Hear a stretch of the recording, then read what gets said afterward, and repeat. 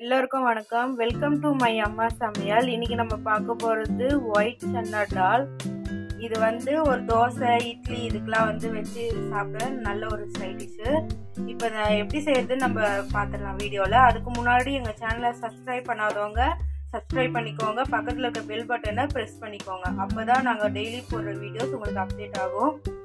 Like பண்ணுங்கள் comment பண்ணுங்கள் இப்போ நாங்கள் போடுற வீடியோ உங்களுக்கு பிடிச்சிருந்துச்சுன்னா எல்லாருக்கும் ஷேர் பண்ணுங்கள் இப்போ வாங்க ஃப்ரெண்ட்ஸ் நம்ம வீடியோக்குள்ளே போகலாம் இப்போ நம்ம ஒயிட் சன்னா டால் செய்ய போகிறோம் அதுக்கு வந்து அது ஃபஸ்ட்டு பாயில் பண்ணிக்கலாம் கடலையை நான் வந்து முன்னாலே ஊற வச்சு தண்ணி வடிச்சிட்டு ஃப்ரிட்ஜில் வச்சுட்டேன் டப்பாவில் போட்டு. அதை இப்போ வந்து ஆவி கட்டி எடுத்துக்கலாம். ஒரு மூணு விசில் விட்டால் போதும். அரை லிட்டர் தண்ணிக்கு ஊற்றிக்கலாம் ஊற்றிட்டு அதுலேயே கல் உப்பு கொஞ்சமாக போட்டுக்குங்க. போட்டு ஒரு மூணு விசில் வர வரலும் நல்லா பாயில் ஆகட்டும்.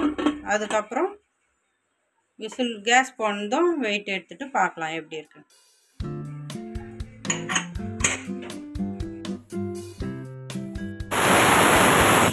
சென்னா வெந்துடுச்சு. அதுலேருந்து ஒரு கரண்டி இருக்கும். எடுத்து பவுலில் மிக்சி பவுல் சின்னதில் போட்டுக்குங்க. போட்டு அதை ஒரு சுற்றி சுற்றி எடுத்துகிட்டு வந்துடலாம். கடாய் வச்சுட்டு ரெண்டு மூணு ஸ்பூன் எண்ணெய் விட்டுக்குங்க. எண்ணெய் காஞ்சதும் பட்டை கிராம்பு சோம்பு.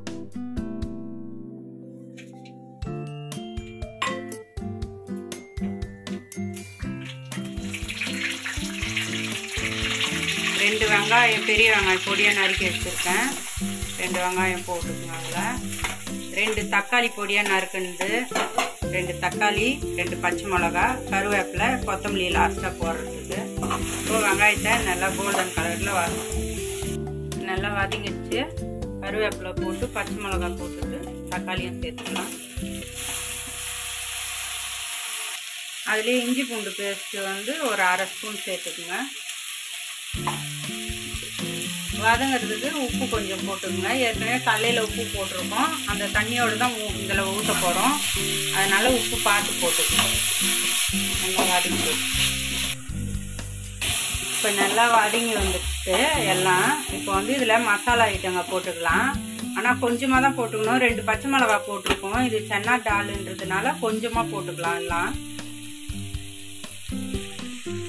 சில்லி பவுடர் வந்து அரை ஸ்பூனுக்கும் கம்மியாக போட்டுறேன் கரம் மசாலா கால் ஸ்பூன் போட்டுக்கோங்க. ஒரு சிட்டிக்கு மஞ்சத்தூள். போட்டு நல்லா லைட்டாக வதக்கி விட்டுட்டு வேக வச்ச சென்னாவை அதில் கொட்டிக்கலாம். தண்ணியோடு ஊற்றிக்கலாம் அந்த தண்ணியை வேஸ்ட் ஆக வேணாம். ஆனால் அந்த தண்ணி நல்லா ருசியாக இருக்கும்.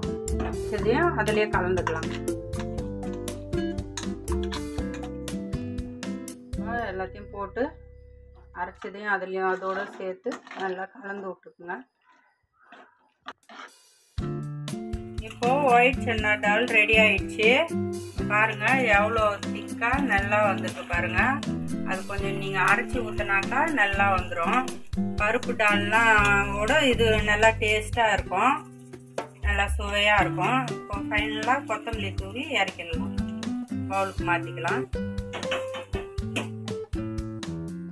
தான் ஃப்ரெண்ட்ஸ் பவுலில் மாற்றியாச்சு இப்போ ரெடி ஆகிடுச்சு பாருங்கள் நல்லா திக்காக இருக்குது சப்பாத்தி இட்லி தோசை எல்லாத்துக்கும் நல்லாயிருக்கும் காரம் கம்மியாக இருக்கிறதுனால குழந்தைங்க நல்லா விரும்பி சாப்பிடுவாங்க. நீங்கள் ட்ரை பண்ணி பார்த்துட்டு எனக்கு கமெண்டில் சொல்லுங்கள் தேங்க்யூ ஃப்ரெண்ட்ஸ்